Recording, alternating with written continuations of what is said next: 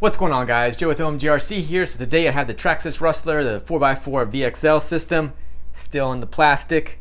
Let's go ahead and get this thing out of the plastic and see what it's all about.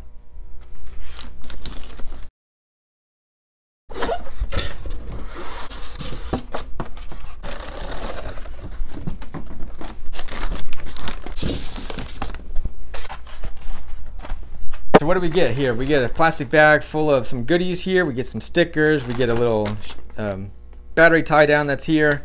Nice on that one. I think that's going to accom accommodate if I have running on a 3S big lipo. Uh, but I'm gonna, I'll show you that one here. Also, as far as these little tools, that's nice. I like having getting extra little tools. You know, it's always a good thing. Some little jump uh, spacers here for your shock. Some other little uh, whatever these are for your piston of the shock itself. Slow down that flow of oil or speed things up, but these look to be a little bit, uh, anyway, so you get that kind of stuff. You get your pinion gear that's in there, so you want to go a little bit faster, that 65 plus miles an hour. Really want to, uh, we'll see. I don't know how these tires are going to work, so I'm going to see how this thing all works. You, you get the manual and everything that's in there, that TQI system. It's pretty nice. As far as the radio goes, you know, four double A's on the bottom there, your little on and off switch at the bottom. Get some adjustments here. So when it comes to, you know, your steering trim, and then this here, I believe is going to be to adjust your Traxxas stability management. And then here, if you need to get into, um, you know, setting up your vehicle, as far as you know, extra little features or what have you on there, reversing stuff. Now, it doesn't have the the Bluetooth in it right out of the box, but you can add it, which would be nice if they gave you that. That'd be cool because I've used it before. The only gripe I have with that is when I want to make an adjustments and then it's like, hey, by the way, you have an update. The update before you can actually start adjusting the vehicle. All right, and then this is attached inside here. But I want to kind of talk to you about the body top. You guys let me know about this body top. Uh, I want to know if your struggles are as bad as my struggles on getting this body top off and back on. But I do, it's just kind of going about the body top right now. The outside, digging the wheels, I think they look nice. It's like the mini me of the other version of the e-Revo 2.0.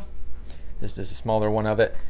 I, the tires feel like they're going to balloon pretty uh, bad when it, I'm going to say they're going to balloon a little bit there.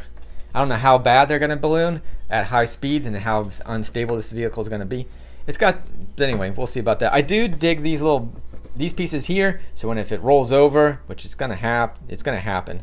It's inevitable. But uh, this is nice that has a little skid plates on top of it. Now let's get into the body top real quick. Oh, before I do that, I want to talk about this wheelie bar. So this wheelie bar, I'm trying to foresee things sometimes. Now, if you're jumping and you're landing, it's kind of smashing up into it here. So that's kind of a bummer. You guys can let me know in regards to that one since this is straight out of the box. Um, you know, as far as the bottom of it here too, you know, obviously it's these. You can, again, this is all fresh for me when it comes to this particular vehicle so you guys can let me know like oh yeah well you know if you're jumping it whatever this is potentially this is going to break i know like the arms those are kind of like things uh, the bumper i don't know if you can get a different like rpm oh this they got a better bumper for it or something like that. You guys let me know. You guys are pretty awesome about doing that stuff.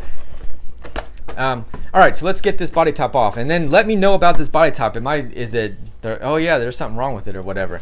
So usually on the X-Maxx when i had the X-Maxx super easy one-handed system and it was all good to go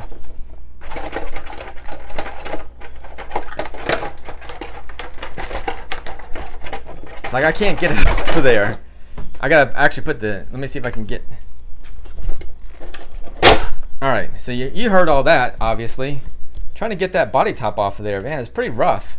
And getting it back on, well, I can't do it with one hand. I'm gonna, be, and also as far as the body here goes, because it wants to tuck in, it wants to go, it doesn't want to be on the outside. It wants to be trying to be on the inside here, like on both sides.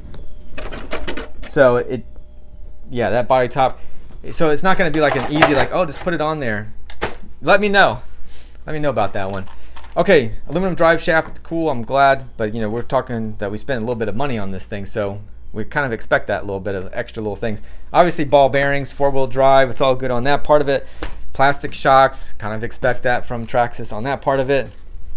I don't think they're bad shocks or anything like that, but, you know, you spend a little bit of money, kind of expect a little bit of stuff here and there the Velineon system that's in here. I've never owned a Velineon system to let you guys know like oh if it's good or bad. You guys can let me know, but I think it's going to be one of those things that's going to be some people are going to like it, some people hate it, they get rid of it, what have you. So I've never experienced it. And, You know, oh, does it run hot? Don't put that. You know that. I know when it comes to a speed gear, you don't want to be running a speed gear when you're just kind of jumping and stuff like that. That's a bad idea. So pretty much for the most part, I'll just run it with the stock gear, pinion gear in there, and then maybe eventually switch out the system to something else. You know, with a little bit more power or a lot more power. Maybe something that was in there. It's got a 2200 kV motor that's in there, a big old 6S system that's in that. Uh, but I haven't really run that too much. I ran it on a 3S because it's just buck wild when it comes to anything more. All right, so speaking of running it on different power, since this is a 2 and 3S system, start with the 2S. This is a Gen Ace battery. These are what I use most of the time. Gen Ace batteries, I like them. I had good experiences with them. So, all right, so that's in there, no problems, easy peasy. Got a 2S LiPo in there, 5,000 milliamp, nice 50C discharge, you know, so not a bad one. And I've had this one for a while, so and it's been really good. Now this is a big pack. This pack right here barely goes in most vehicles. So when it gets into this vehicle, I'm impressed. Because these plastic packs and they're tall, they didn't hardly even fit into my BE6S, which is an, anyway, it's a Redcat vehicle. And some of my other vehicles, just wouldn't fit. I do like this thing that switches around. I don't know, it doesn't really disperse a lot of, you know, areas of holding it down. But it kind of holds it down enough. But that other little arm that it comes with would work perfect for that. Put that arm in there and then you're good to go. But I do like it that I can say, okay, I don't really want to run it on a 2S or I don't want to run a 3S or vice versa. It's all good on that part. So I like that. So definitely nice on that part of it. So you can see those two batteries, they pretty much match up on that one. I don't have any measuring tape to kind of show you, but if you look those up anyhow, you can pause the video and you can find out what those specs are as far as that's a pretty it's pretty common as far as this size go so if you know what it is like oh okay that Traxxas you know whatever it fits in there nice all right and uh, as far as like I said the Velineon system we'll see how that all works on that one and we'll do some upgrades eventually down the road depending on how this thing all works. But I want to jump it, just have fun with it anyway, just like what you're supposed to do with RC vehicles. Just go out and have fun and, uh, you know, not overthink everything when it comes to running your RC car. You know, just get out there and have fun. So yeah, that's it. I, I do, again, I like the wheelie bar that's on there. It's pretty cool. It's nice that it comes with one. I'm sure this thing, that just already tells me this thing's going to do wheelies every single time you want to punch the throttle on it. All right, I would put the body, pot, body top back on there, but you know, we know the drill now. After getting it off, it's not going to be easy getting it back on. I just left that one there just as a reference to, you know, the Rustler. This is the uh, four, four-wheel drive Rustler. Definitely all different chassis and everything like that. Totally, completely different, almost to everything on it. You know, there's a lot of different, well, there's just a bunch of stuff that's different on it. Because it's a two-wheel drive system. Motors in the rear. This one's in kind of like the mid-motor, whatever. So anyway, that's that. Uh, this is going to be a long video, unfortunately. So anyway, I appreciate you guys watching. I'll get a running video of this thing here shortly. And until next time, this is Joe with OMGRC. You guys take care. Thank you for watching. And if you are new here, definitely consider subscribing. All right, later.